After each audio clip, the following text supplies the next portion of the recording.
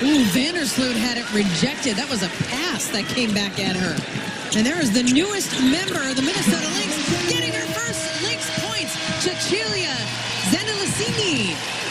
The Lynx like just signed her on Monday, an unrestricted free agent, and she just scored her first Minnesota points.